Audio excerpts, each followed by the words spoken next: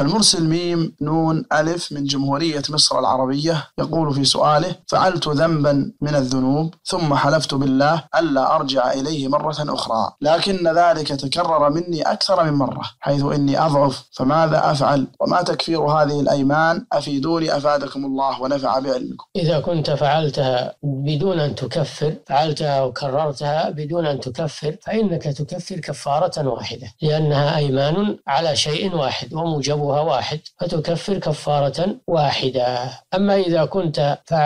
حلفت ثم حنست وكفرت ثم فعلت مرة ثانية فلا بد من تكرار الكفارة لكل مرة نعم